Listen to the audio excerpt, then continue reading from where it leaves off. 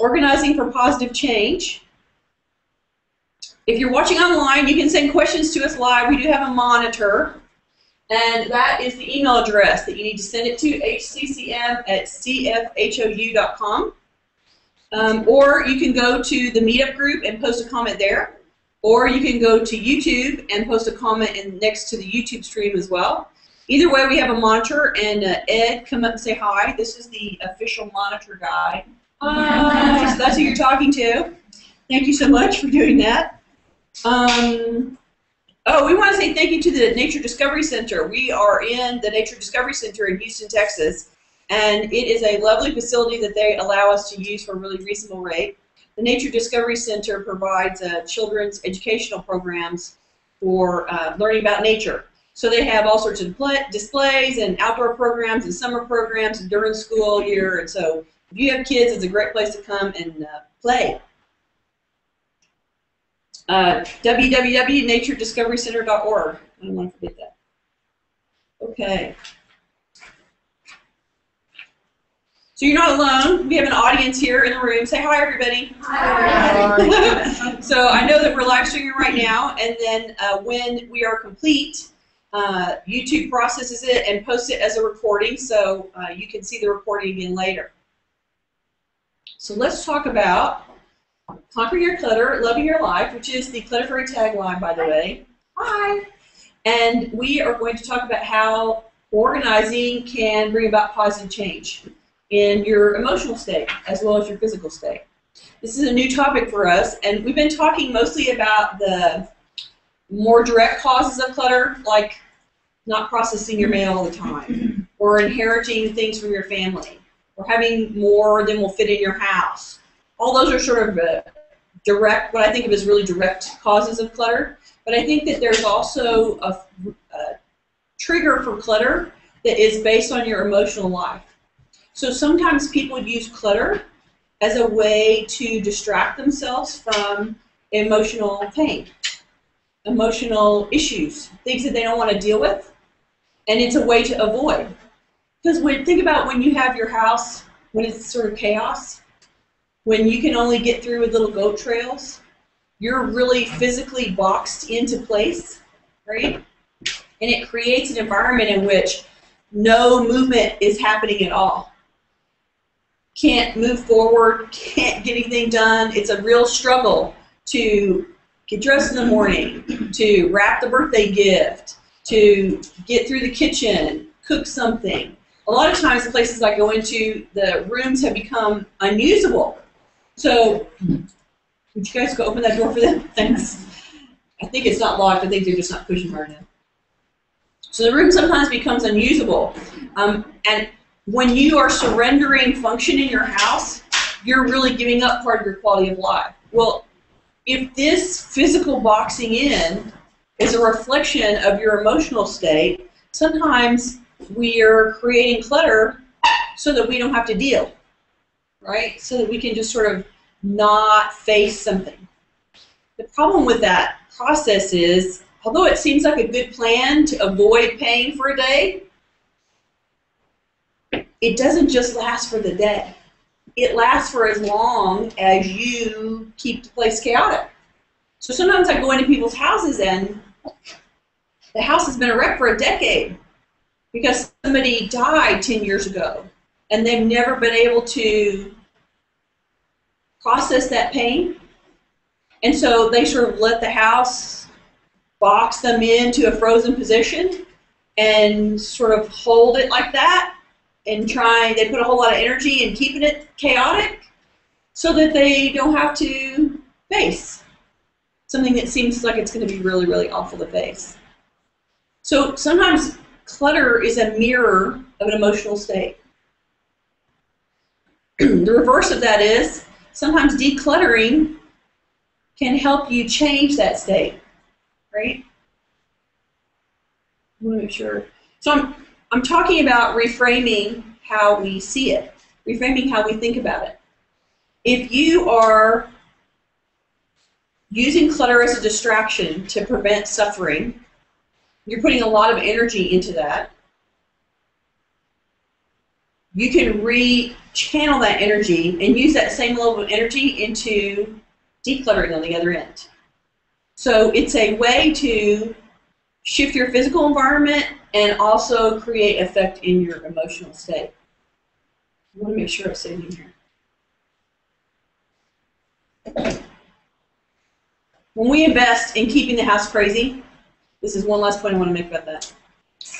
When it stays chaotic as a way to stay frozen, at some point it starts costing you more in terms of quality of life to maintain that than it does to expend the effort you're going to have to take to clean it up. When I go and clean in people's houses, we're putting a whole lot of effort into digging it out. It's a lot of work.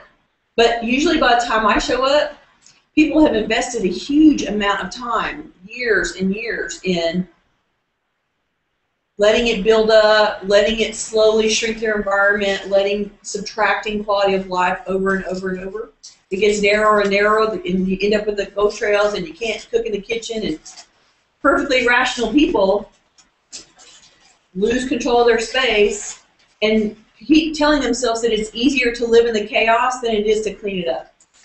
And I think that that's a hidden cost. It really isn't easier to live in the chaos. And the worse it gets, the harder it is to do the most basic things. So in, in the short term, it seems like, oh, that's too much effort, I'm not going to do it.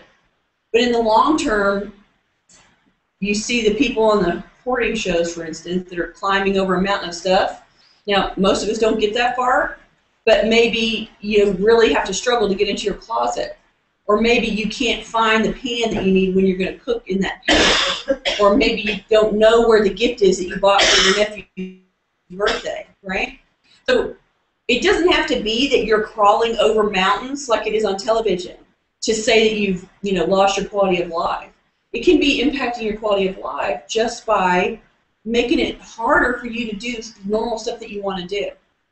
And I think that there is a component of emotion as it's scary to face emotion and clutter boxes you in so you don't have to do it. But at some point, you sort of cross that line. It's too much. It's costing you too much to keep it that way and not face the demon, not face the thing that's scaring you the most. Okay?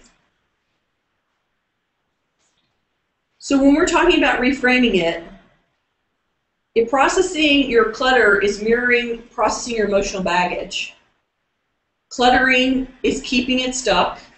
Decluttering can be a way that you create change and movement, right?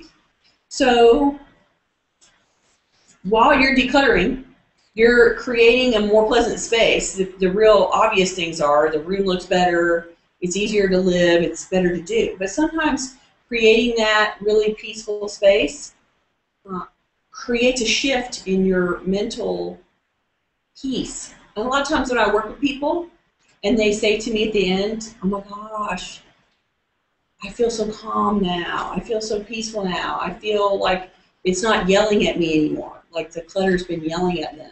Clean, clean, clean, clean, clean, you know.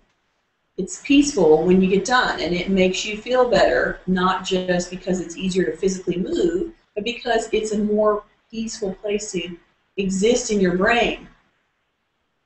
So if you want to think of decluttering as a way to make improvements in your mental life, maybe it seems like a burden to declutter so you can find the gifts, but maybe it's more of an incentive to declutter to help create emotional shift. Does that make sense? Absolutely.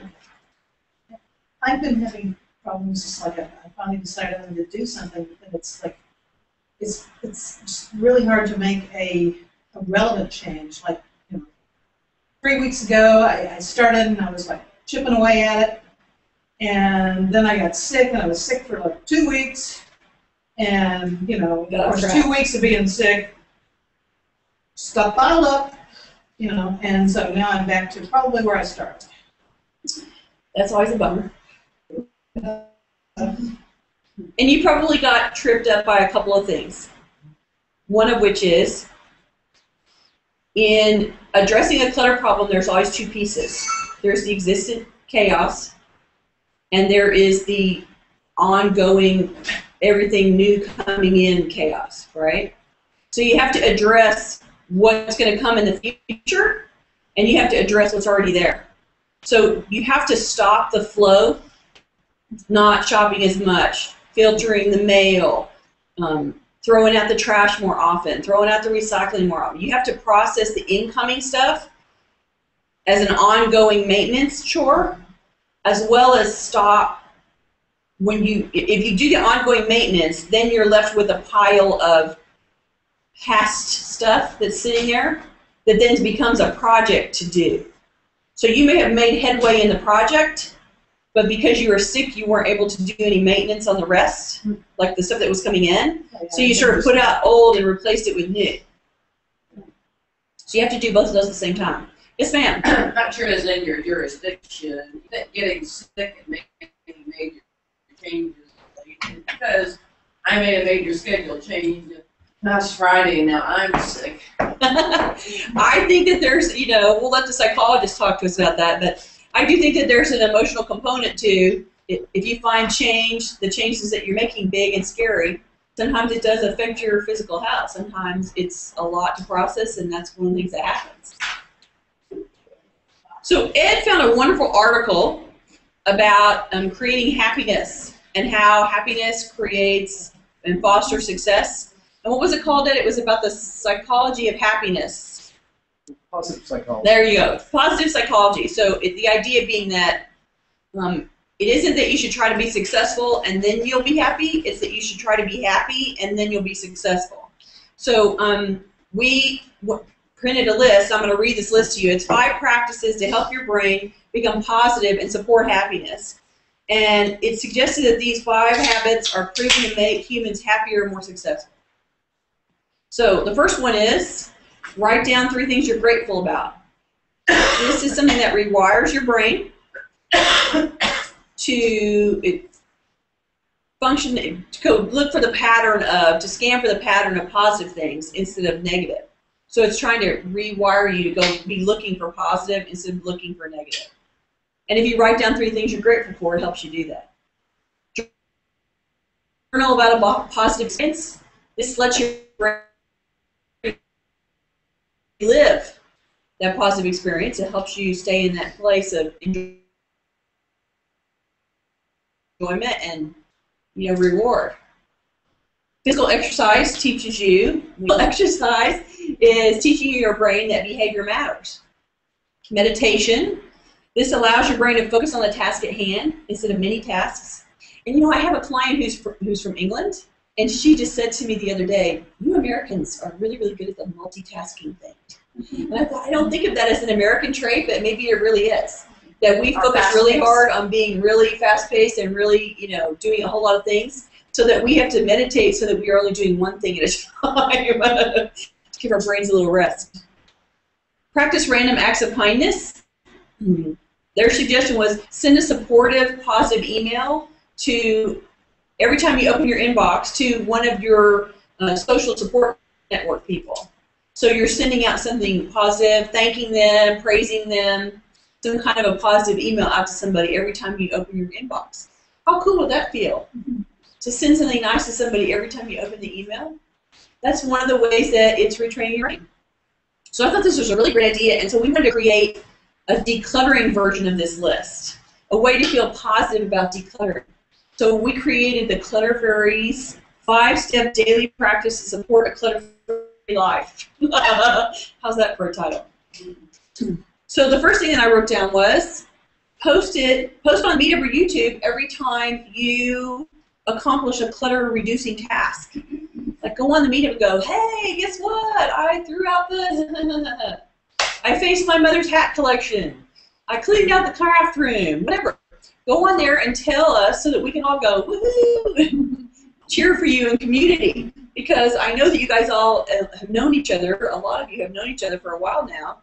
And even if you haven't, you know everybody on the meetup group is there to talk about decluttering. So what more perfect place to get support about having accomplished one? So go on there and tell us about it. We'll, we'll cheer for you. On YouTube or on YouTube? Um, you can go on YouTube. You can go on the meetup group. Yeah, because if you go onto YouTube, you can post it next to the recording, or you can go to the meetup group and post it next to the meetup. And say, hey, remember we were talking about yada yada, guess what I did, blah, and, you know, it go, it gets mailed out to everybody, right? So you'll get an email and somebody can, we can write you back and say, yay. So the clever version of the next one was take a moment to write about the experience of letting go of something, or go talk to a friend about it.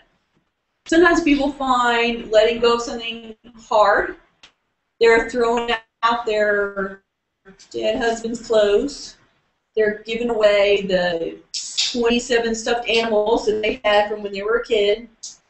You find something to be difficult to process, and you're able to accomplish that task. Go talk to somebody about it. Help yourself process through what comes up because you've thrown it out. Or maybe you need to talk to somebody about it before you do it that you can have a positive experience of actually letting it go. Let them support you while you do it. The point being, look for positive support in that process. So the, the exercise equivalent is set a timer and declutter for 15 minutes every day, or go around and do the pick up 10 exercise where you pick up 10 things that are trash and pick up 10 things for donation every day. So you're doing a short amount, uh, what am I, bookended, you know, I'm only going to be here for this long. I'm going to count to 10 twice and then I'm done. Or I'm going to set the timer and I'm going to do it for 15 minutes and I'm done. But create that routine of doing something every day in 15 minute increments. Maybe that'll help you move forward. Here's a fun one. So, um, this is the uh, meditation equivalent for the Clutter Fairies uh, list. Sit still and declutter space for a while. So if you don't have a space like that in your house, I came up with all these great places. You IKEA and sit in one of their prepped rooms, or you can go to a model house, or you can go to uh, some kind of furniture store where they have, you know, layout setups of here's the living room, you know. Go sit in a room, or bedroom particularly. Go sit in a nice, beautifully laid out bedroom. Sit there. Chapel. Huh? Go to the Rothko Uh, yeah, exactly. Sit. And sit. The idea being that you sit in a peaceful space and notice how you feel about being in a space that isn't cluttered and how that feels differently to you. Maybe you haven't had the opportunity or in a while haven't had the opportunity to feel what that feels like. So go park yourself in a space that you considered uncluttered and then rest in that for a little while and feel, see how soothing and calming it feels. The last one, the random, the random act of kindness version for the Clutter Fairy is um, give something away as a donation, and then tell us about it.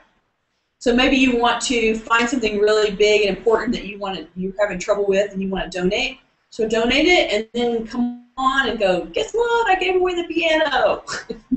whatever, whatever thing that it is. Come on and tell us that you made a donation to a charity that makes you feel good, and we'll help you relive that experience. We will cheer you on and help you validate that you did something good today, and it'll help you feel better about it. I'm hoping that the idea of a, conquering clutter practice, daily practice, will be something that allows you to make forward motion. If you're feeling really stuck, it hopefully will move you along and get you started, or get you going if you get derailed, for instance, like she was telling us.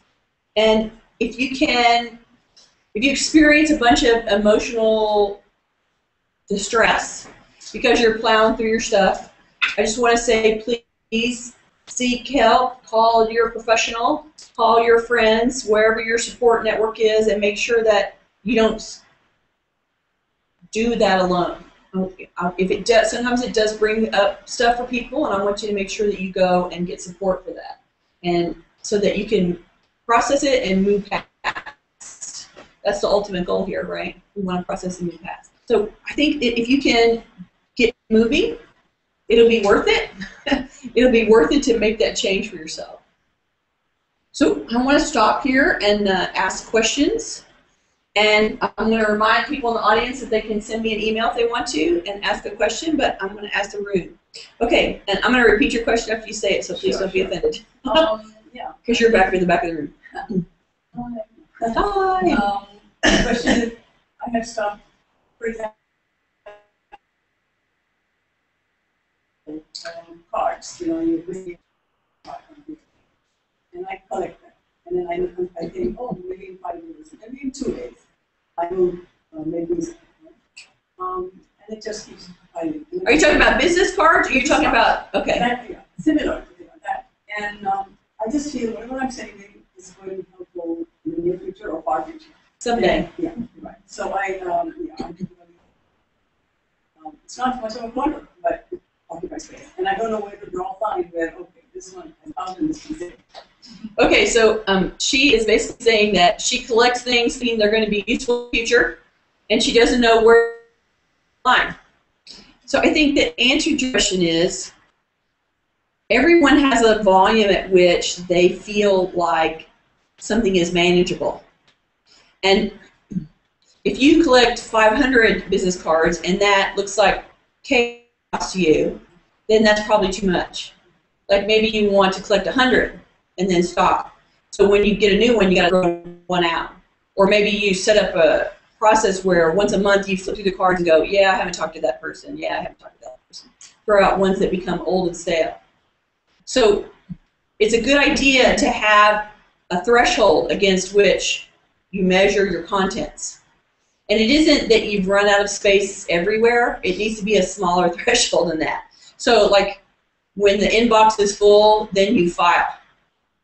You don't let the inbox get two feet tall. You only let it get two inches tall, and then you stop and file. So you want to, if you don't have a big pantry, for instance, you don't want to buy 20 cases of soda because you can't stash 20 cases of soda. So you want to buy three cases of soda and wait for those to be done before you got buy more. So you want to create some threshold uh, where you feel comfortable, like you feel like you have enough, but you don't have too much. And for everybody, that level is going to be a little different, right? It's going to move up and down depending on how much you pay paper and how much you know you refer to those things. I guess I would also filter them for if you register for how often you touch them. Do you actually go back to those cards very often? Sure. Yeah, so if you're not actually touching the collection, then you have to edit those, I think, to a smaller pile. If it's something you use all the time, it makes more sense to have more of it if you're going to be processing through it all the time. But if it's something that you're ignoring, except when you add, make it bigger, yeah, then I think you, you have to let a little small pile. It could be like file something and then. It could be what? I'm sorry. File or put it in a box. Either way it's filing. But Either way, it's filing, but you don't want to do that endlessly because I don't want you to keep creating more and more and more files because then you're just doing work for no good reason, right? So it's important to, before you default to paper needs to be filed, it's important to evaluate whether it's important paper or not and whether it actually is worth your time. Because everything that you throw away is one less thing you have to make a file folder for, right? Just saying. yes, ma'am. I have a question slash comment. Okay. Something I'm struggling with. Um, one is, you were saying that, uh, sometimes it's easier to live in the clutter to avoid yourself. For me, I don't know if it's easier because I look around and it's like I have a lovely home, but I'm not enjoying it to full capacity because it's too cluttered with things. And, um, for me, it's, um, it, it feels almost overwhelming, like where to start, that's one issue. And then the other Okay, where to start? That's issue one. And then maybe related to that is, um, you know, the rule about like maybe fifteen minutes a day, a little bit at a time, so it doesn't seem so manageable. So I do a little bit at a time, I mean, you know, working full-time and involved in a lot of things, so You have a life? You're telling me you have a life. Yeah. I'm so I try to do a little bit at a time, but then I get discouraged because I don't see a lot of tangible difference. Good point. Those are good points. Okay, so she's saying, A, she doesn't know where to start, mm-hmm. right? And B, she does do work, but she has a full life, and so she gets discouraged because she doesn't see tangible difference. Kind So- of like dieting, you know, maybe Yes, a it is kind of like time. dieting. Yeah, yeah. That's kind of how I feel. Well, and it- dieting is exactly the same thing. You have to stop the flow. you have to stop stem the bleeding, right? So you have to change what's coming in your body so you don't keep adding. I gained weight I gained. Ugh, isn't that It's like my husband died. Well, you know, but I my bet husband died, so I had this Mm. loss. Yeah, yeah. Well, and that's a perfect example of emotional trauma being reflected in your environment. But see, now you're. And I'm a therapist and I see it. But I have to feel, you know, it's like I have the insight and awareness, but then sometimes it's hard to like propel that into Oh, yeah, yeah, action. yeah, That's where I'm at. Absolutely. Well, just because you're a therapist doesn't mean you don't get the proper amount of time to grieve. I mean, so how long has it been? It's been eight years. Okay, so now it's the time. It is. And, just recently, in the past year, did I finally get through stuff. Oh, okay. And there were things that I mailed to his family members and or donated or this or this. Yeah. So I finally done, and that took years and years to be able to just emotionally. But now, now it, it's really just me and my stuff. Right, right, um, So that's my two. problem is I love to shop, and it's a I big part of um, just my social life with my mom and with friends. Um, You gotta start doing, you know, events instead of shopping. You gotta start like going to do stuff together, movies, you know, yeah, drinking coffee. well, You know, Actually, yeah. I, I spent some time with a girlfriend this past weekend, and she used to have some cluttering problems, and she's really made some significant changes, and that's been inspiring to me.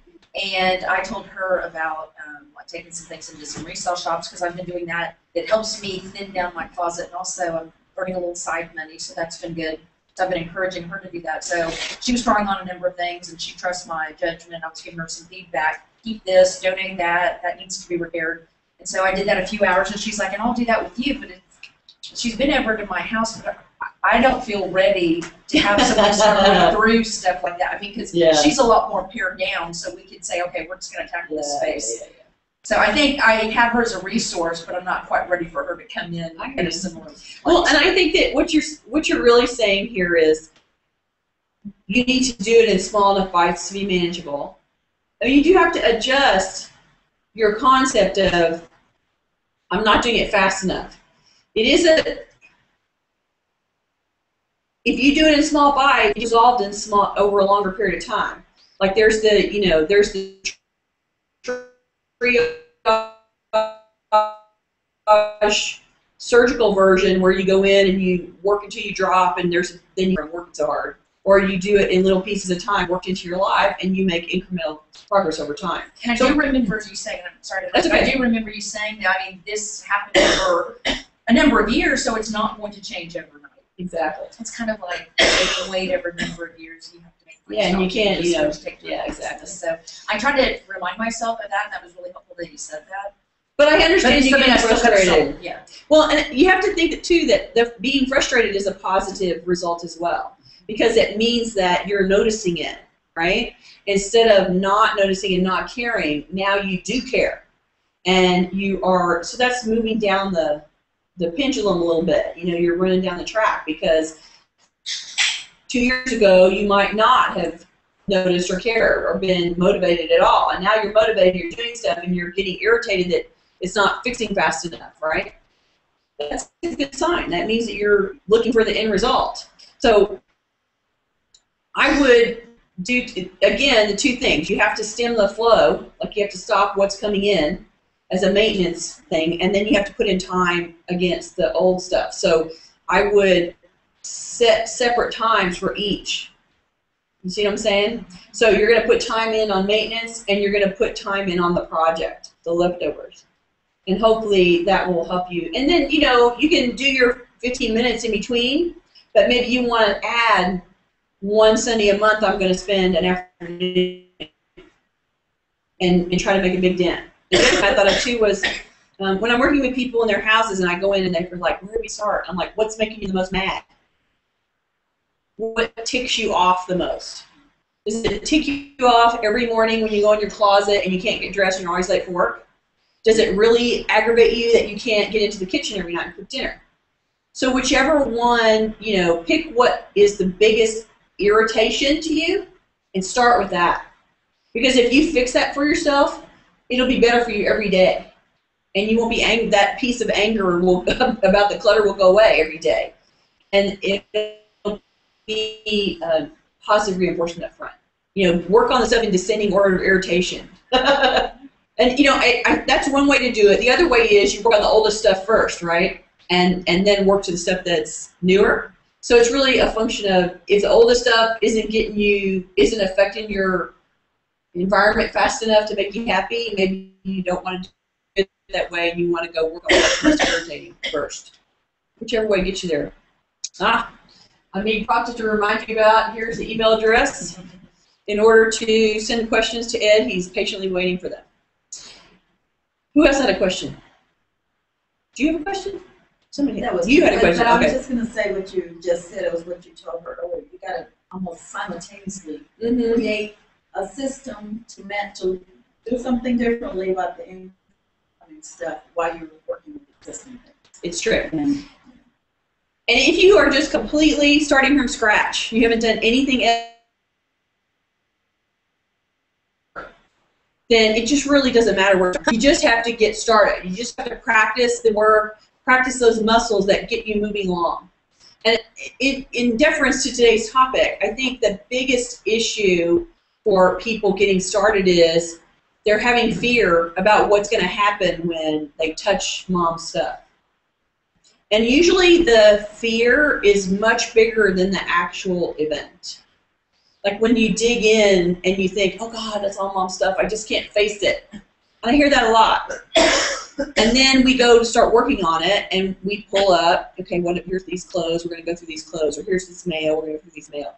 It might be disturbing or distressing a little, but it's not nearly as bad. You know, it's just like any other project dread it and dread it and procrastinate and procrastinate and procrastinate because you're sure it's going to be the most miserable thing ever. And then when you finally make yourself do it because you have a gun to your head and somebody's going to die if you don't, it's not that hard. It's not as terrible as you've been pumping yourself up that it is. So clutter's the same way. People assume that touching the stuff is going to make them hysterical, miserable, and fall apart. But it's not usually as bad as that. It is sometimes sad and a little traumatic, depending on where they are in the process and how they feel about it. Um, I have a client whose father was kidnapped and killed, and she still has problems talking about her dad and processing. You know, it's very. She was young and it was really traumatic and awful, but she's been able to make shifts over time. So after a couple of years of working with me, she now goes and opens her own mail. Woo! That was a big step for her to be able to go from I can't look at it. There's too much going on in there. It's too overwhelming. To I'm going to pick up the mail and I'm going to put it in the same place every day, and now I'm going to open it. So she has a daily maintenance system that she's been able to absorb over time. So even somebody who is severely traumatized and had a whole bunch of health issues and all other stuff going on, even she was able to, over a long period of time, make shift in her daily maintenance. She was able to make changes, and it has helped her life. She feels better. Are you raising your hand? I am. Okay, And, and please my hair at the same Multitasking. Excellent. Along the same lines that you're suggesting, I read a quotation the other day, which was, um, imagine that you've already made the decision. What would your life be like now? exactly.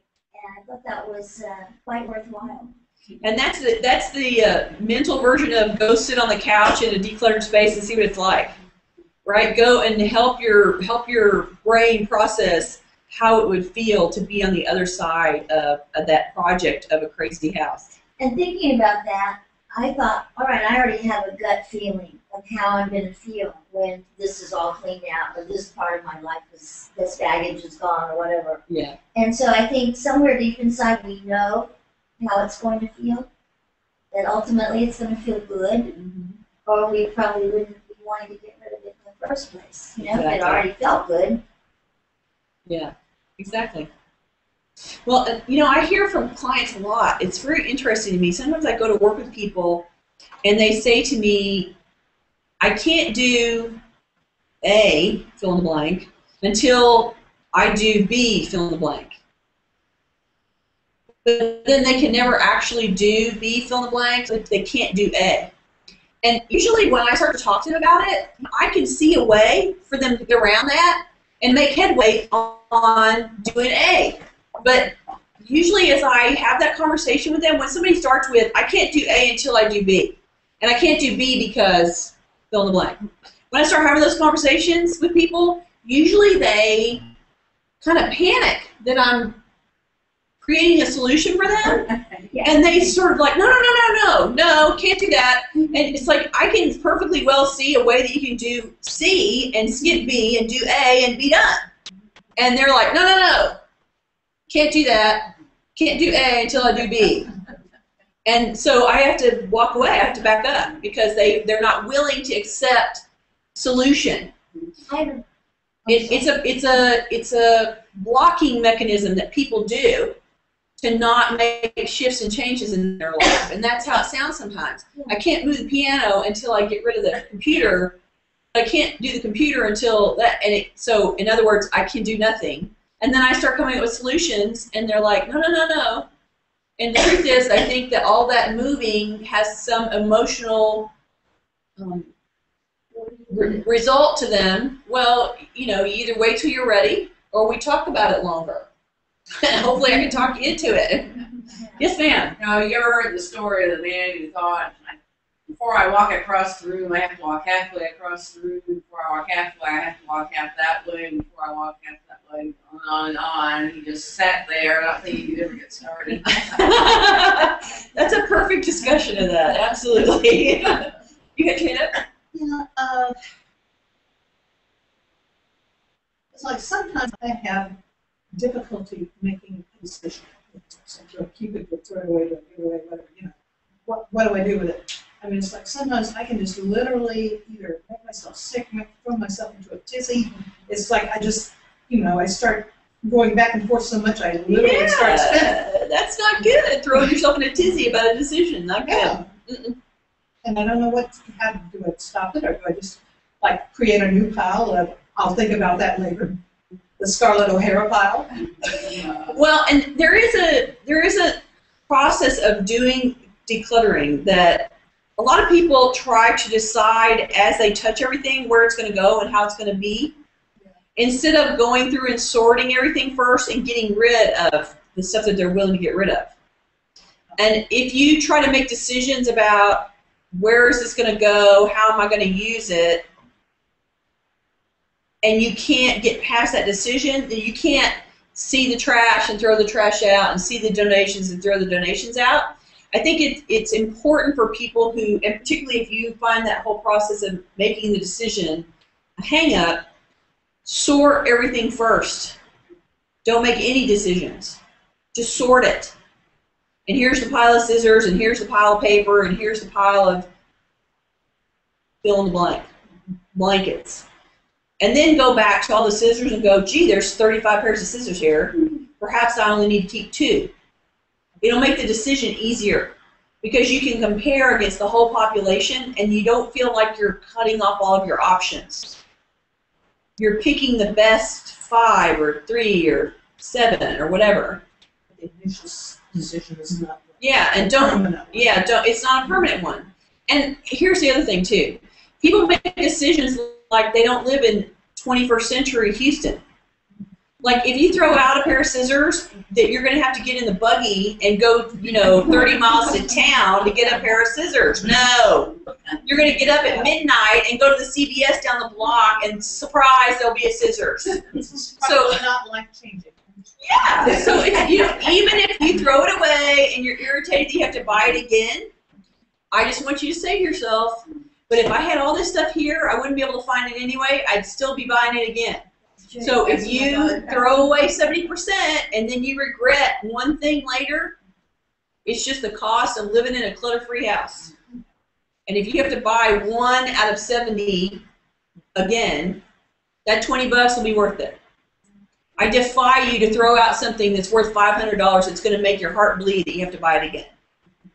You're going to be talking about the the five dollar post-its and the you know it's not it, the the shirt maybe you know that's going to cost you thirty five bucks or fifty bucks instead of, you know.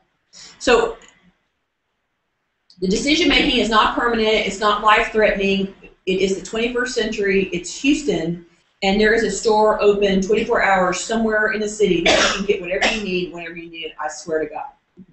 And, you know, if you're looking at two o'clock in the morning and you can't find somebody, you call me on the phone and say, I can't find a blah, blah, blah, blah, and I will tell you where to go. So, don't be worried about it, okay? It is possible to solve that problem. Now that you said that, I think most, most of the time that I do that, I'm like trying to make a decision, like, A, am I gonna keep it and get rid of it? And B, where am I gonna put it? And, you know. that, Blah, blah, blah. A whole bunch of decisions that go. Right. So I'm saying that the shorter, faster path is to sort it first and make keep toss decisions only. Don't worry about the stuff that you're going to keep. Don't worry about where it's going to go or how you're you going to use it or nothing. All you want to do is is it staying in the house? Is it not staying in the house? Because then you're going to cut down your contents by half. And then the amount of things you have to make decisions about just shrunk by 50%. So all the ones that are going in the trash and going to recycle and going to donation, they they go out of the house and you don't have to decide nothing about them. So don't make yourself crazy trying to decide about it all. Okay? Does that help? One tiny question. Yes, ma'am. Uh, Is it true when they say, well, if you haven't touched the pair of pants for say a year or two, you get rid of it, or even longer? Uh, because I have kept and I've gotten into it and enjoyed it, and then put it away, and then I haven't seen it ten years. But that's there. But it's still there waiting for you patiently. Yeah, yeah. Yeah. Okay. Action comes and comes and goes. Well, here's the thing about clothes. You know, I how do you sell it? Clothes clothes are the downfall of every woman. Okay, they all have too many clothes. Even if they only have four shirts, it's probably more than they need, right? It's clothes. We keep clothes, and we keep clothes that we wore in high school like we're going to wear them when we're 60. Except no person stays the same size and weight that they were in high school. If that's a lie that they tell you that your body's going to stay like it was when it was 16. They act like 16 is the end game, and then you spend the rest of your life trying to be 16. Guess what? Not going to happen. I don't care what you do. Um, so, you know, those jeans you wore when you're 16, you're not going to be wearing them when you're 60. And the truth is, it all, everyone's collection has to be defined by the closet space you have. So, if you don't have closets for it, you're keeping too much. You may want to have a thousand pieces, but if you only have closet space for 300 pieces, that's what you should be keeping. Because if you keep a thousand pieces and try to cram them into a space for 300 pieces, then you can't get to them anyway. You can't use the ones you have. It doesn't matter how much you have. You can't see three quarters of it. So the closet needs to have some air in it. You need to be able to walk into it. You need to be able to find what you want. You need to be able to hang up stuff that comes out of the dryer. It can't be hard. If it's hard, you have too many clothes. That's the bottom line. You have too many clothes for a peaceful life. If you are, you know, a clothes person, it's your thing, you're into clothes, fashion's your thing, then, you know, A, you need to have a space that has been a closet for it. And you still need to try to regulate based on the closet space. And, you know, add more furniture if, if you have dressers and things to put things in. Thank you. At some point, it's going to be, no matter what you do, you're still going to reach capacity. The house, the closet, they all have permanent walls. Mm-hmm. It's not growing rooms. The closet is not going off into infinity. So at some point, you have to declare the collection complete, and then you you know you put in new stuff and you take out old stuff, and and you're basically making a, a pact with yourself. I need to buy new clothes because I think that's fun or hip or cool, which means that in order to keep the new stuff, I got to let the old stuff go to you know someone else because it's more important for me to play with the new ones than to keep the old ones. Right? So you just make that choice. It's I'm I'm spending I clearly have enough clothes in my closet to stay clothed and not be arrested. So um, I'm only buying them for my entertainment now, and because I want to be fashion trendy. So if I if I want to if fashion trendy is the goal, then you keep the new stuff, you let the old stuff go. That's the bottom line. Yes, ma'am. I, I think that's Did that help? Was that, I'm sorry. maybe. Okay, good. Okay. Yes, ma'am. Even a better measure than that thing they say about the six month or one year rule. Because I, I, I go through my stuff pretty often, but there are things I have. Let's say like some holiday things. And I've got some things, if it's cold during the holidays, I can wear them. And I've only had them for a couple of years, but if I did the six month rule or the one year rule, I would have thrown them away. Well, yeah. But I will wear them again next, you know, Next Christmas cold or whatever. Next Mhm. Well, and Houston has winter, summer, right?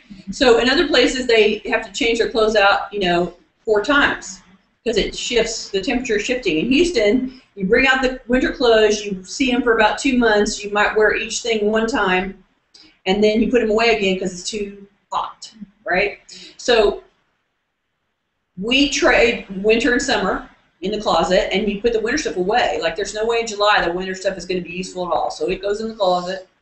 And the six month rule is really just a, it's like how do you draw a parameter when you don't know what the parameter is? I'm saying that the better parameter is does it fit in your closet?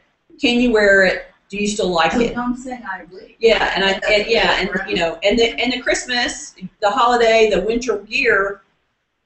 In our environment, that should be a small. I coach people that should be a really small part of their closet. And I know people that come from up north. They move here and they're like, "Oh, I, you know, I've got 400 sweaters, sister. Those are never coming out of storage. I'm sorry, that ain't happening. You think you brought those 80 sweaters? They're never going to see the light of day again. I'm sorry. You know, they have a bunch of wool. Come on, nobody's wearing a wool sweater in this in this environment. No way.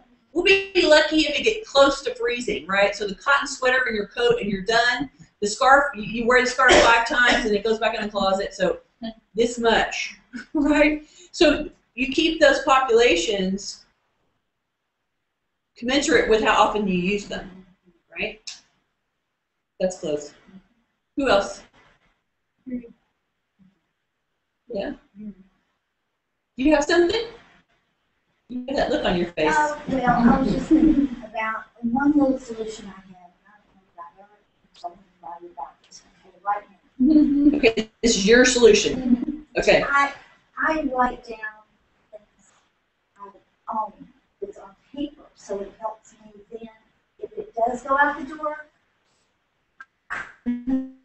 a list of what it is, and maybe even the brand, that it just, is something I do. You make a list of things that you're giving away. I do that, or if I own it now and then later I can give it away without messing up the list. The list is there.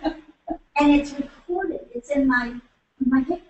So It's crazy. you're keeping the list of the things you've donated, and that helps you because. Yeah, not just donated, but even the things I keep, so that anytime. So you're basically keeping the list of everything you buy. Inventory, right, Okay. inventory.